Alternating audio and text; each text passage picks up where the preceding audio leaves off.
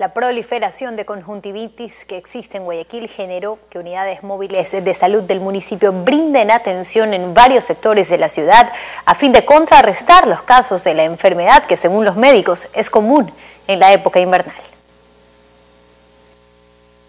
El elevado número de casos de conjuntivitis que se registra en Guayaquil motivó que unidades móviles de salud del municipio de la ciudad se traslade a zonas populares como el sector de Domingo Sabio y La 15 para atender a las personas afectadas con la enfermedad. Estamos atendiendo con consulta y medicina gratuita a más de 100 vecinos guayaquileños en cada uno de nuestros lugares de atención médica.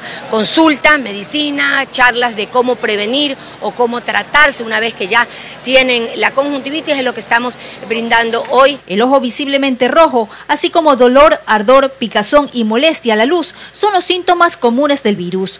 La patada china, como popularmente se la conoce, es una de las afecciones propias de la época invernal, según explican los especialistas. Esta es una epidemia estacional, eh, ocasionado por un problema viral, pero esto se puede complicar con un problema, eh, un problema bacteriano.